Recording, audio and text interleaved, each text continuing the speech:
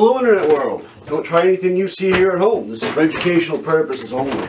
So my last video we uh, tried reloading a, a bird shot using gun cotton.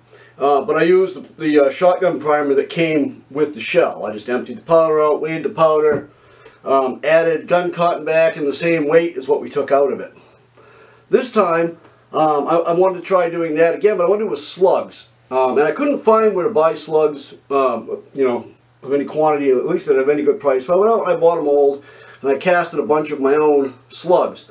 Uh, these are uh, 7 eighths gram, uh, 7 eighths of a gram slug. And I bought uh, some factory made shotgun shells that, that have uh, one ounce slugs because I couldn't find the others. So anyway, back to the primer stuff. So what I did was I decided to look up a few recipes. This is a, uh, um, this particular mix is uh, non-corrosive, but it's harder to find the stuff. This particular mix is the one I'm using. It is corrosive, uh, but it's a lot easier to get the stuff. If you want to see this, just freeze the, uh, you know, pause the video and look at it. Now, so what I did is I mixed all this stuff up, and I wanted to find a way to um, put it into the caps easier. And the videos that I've seen from these guys using it, they're taking the stuff as a dry powder and they're scraping it into the primers. Then they're adding the little anvil back together. Uh, uh, they're putting it in the cup, the little cup that's on the back of the primer. Then they're putting the anvil back in the piece that holds the cup. And then they're squishing them back together. Okay? And it, it just seemed kind of tedious because they were using powders and it could go off as a powder. Some guys were wetting it with acetone. So what I did was I took the, I made the mix, the uh, H48 mix again, this one, and I mixed it up with a little bit of acetone and I made nitrocellulose lacquer mixed with it.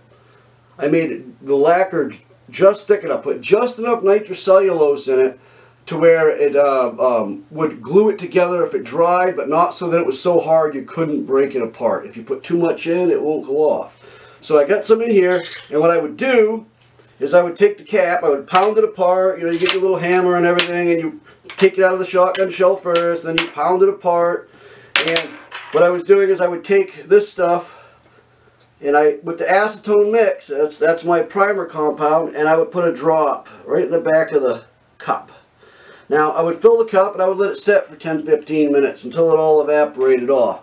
Did this three or four times until it was almost completely full of uh, primer compound. Then while it was still wet. You must do it while it's still wet. It'll go off when you do it. I put the anvil back in the piece that holds it. And then I put it, uh, the uh, uh, cup back inside of the holder. And those worked pretty good. But I wanted to make sure that I had even more power because, you know, some stuff need a lot of ump and a primer to set it off. So what I did is I went and got a non-pointed, in other words, a blunted syringe that had a fairly large needle. This needle is uh, big enough so that it won't be plugged up with the par particles that are floating in this solution, but small enough so that it will go through the hole in the shotgun primer. So what I did is I loaded it the way I just explained, placed it back together while it was still wet, okay? And then I would put some of uh, more of the compound in the top of it and let it dry more on the top and let it dry. I did that several times until it was full of the hard compound. And that makes a hell of a lot more powerful primer. Okay, so now how we're going to test this is we're going to chronograph. We're going to do this tomorrow because I'm doing this at night, uh, the night before we can do the test. Um, first we're going to shoot, or in, in one of these orders anyhow, whether it'll be in this order or not, I don't know. But we're going to shoot one one ounce slug that was purchased. Okay?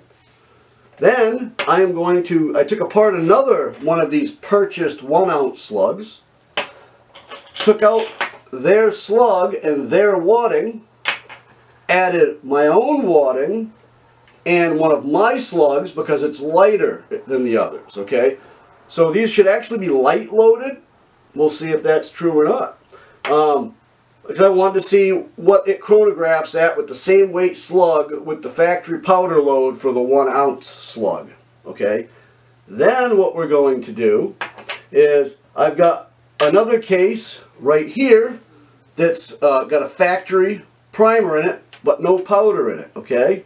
So we've got the gun cotton here weighed out the same amount uh, that was in of, of, uh, of gunpowder that was in the one ounce slug. Remember, this should be a light load, but since the, the gun cotton is so much finer than the gunpowder, this could still explode. So don't try anything you see here at home. This is an experiment.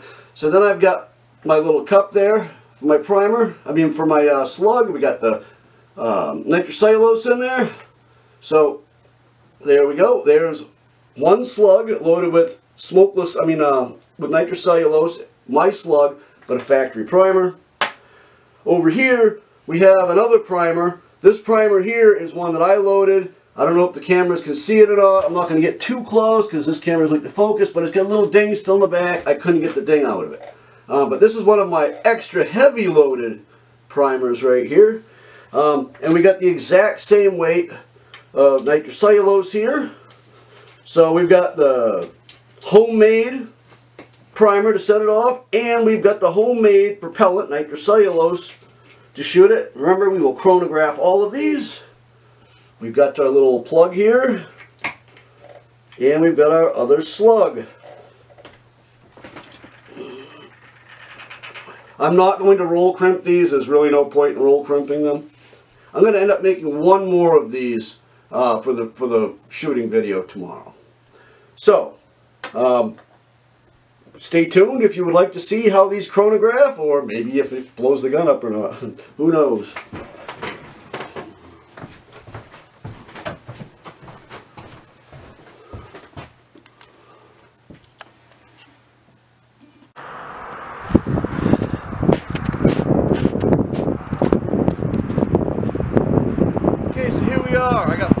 slugs to check. Um, I'm going to holler out the feet per second because I can't move the camera around. I don't have a camera guy, plus I want to hide. Um, I'm going to start with a factory loaded 12 gauge 1 ounce slug, uh, the factory one.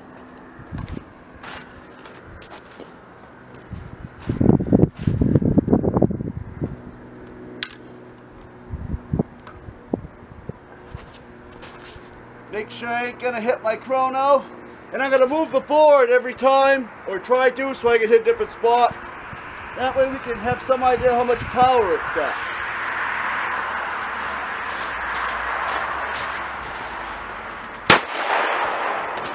Okay? Chrono says... Uh, way. Here. Well, it off too quick, but it uh, it looked like it showed uh, 2,000 feet per second, and I don't believe that's even possible. Okay, so now we're going to try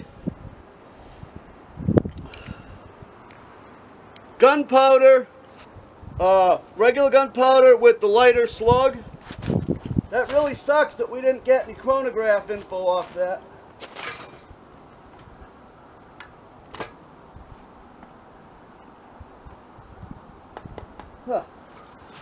Case is stuck.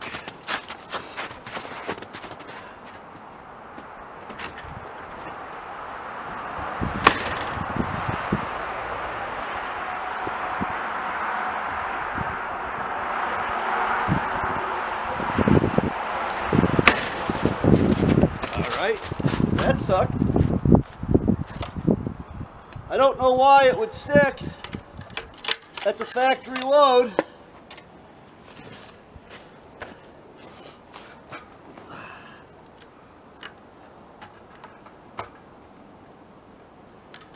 Sure I ain't hitting anything I don't want to again. Try to find a different spot. Don't know why it stuck. So this is the 7 eighths of an ounce slug. Not 7 grams like I said earlier. Pretty much did the same thing. That one came right out. So, uh, oh, that's, uh, it says 23.99. I don't see how it could possibly be that fast. And I blew off the cover. Okay. So, this is gun cotton with my sl homemade slug, but it's um, a regular primer and uh, gun cotton.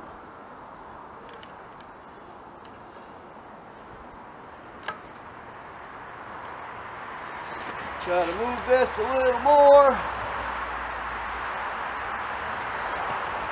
So here's the gun cotton. Slug regular primer. Just like the rest. Blowing holes with ease in that and it's 14 1475 with the gun cotton. but once again, that shell didn't want to come out. I probably should have cleaned my gun.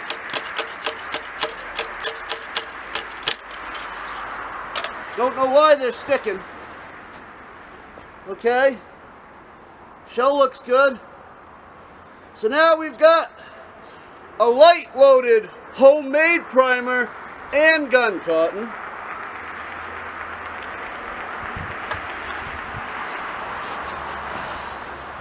Let's try to get that up a little bit higher. So far, they've all blown straight through the 2x12, uh, 2x10 there. It's pressure treated too. So, more gun cotton. That flew straight through it too. And that's 1702. That was a homemade primer. This is the last one. And uh, this is a double loaded H48 homemade primer. If you stay tuned, I saw that, uh, that the recipes didn't show up on the video. If you stay tuned to the end, I will videotape the uh, recipes again so you can see them. That one came out. So this I expect to be the hottest one of all of them for the homemade stuff. Let me uh, point it over here. Okay. So we're aimed at a new spot again. This is the last one. This is homemade primer that's double loaded homemade primer with gun cotton.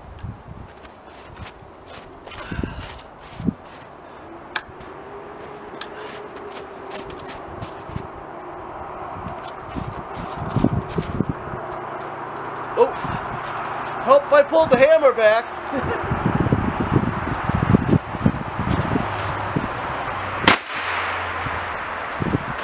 And again, blew right through it, and that one ejected. I think my shotgun's just dirty from the other experiments. Oh, and that was 1327. That's interesting. It slowed way down compared to the others. All right. As you can see, the uh, gun cotton loads are no joke. They blew right through shit. Uh, they were a little slower than the uh, uh, powder loads, but that's kind of expected. Um, well, stay tuned and I will show the recipes again.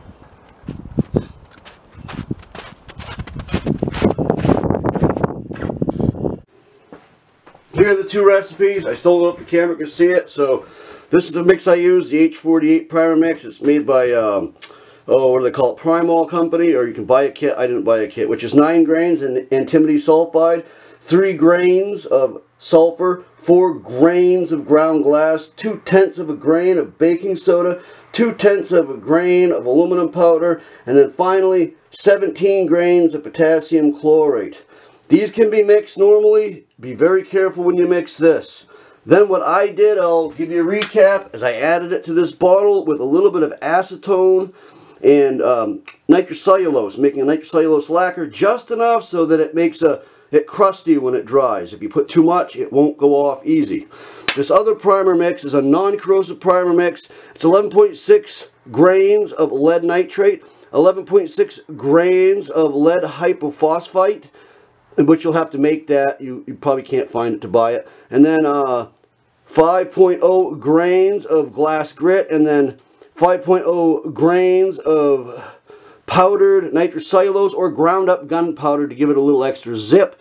And I've also seen the same recipe with a teeny bit of amount of aluminum powder added to it um, to make it more powerful. Okay, you could also use, and I don't recommend this because it's really scary touchy, you could use uh, 30, uh, 70% uh, potassium perchlorate, I mean uh, chlorate, sorry, potassium chlorate, and 70% uh, and 30% uh, uh, pure or like 98, 99% red phosphorus, and then do the acetone trick with a little bit of lacquer. You can do that. Or you can also make lead styphnate, uh, which means you'll have to make some styphnic acid from a chemical called resorcinol, and then turn that into sodium styphnate, and then do a double decomposition reaction to make lead styphnate, and uh, that's what's used in most commercial primers. But yeah, there you go. Uh, thanks for watching. This was a really fun one to make, and I will tell you that I'm comfortable enough with these loads of nitrocellulose rather than smokeless powder and primers to where if I needed to go out hunting, I would definitely end up using um, my hand loads with nitrocellulose and stuff if I could not get factory ammunition. Well, thanks for watching.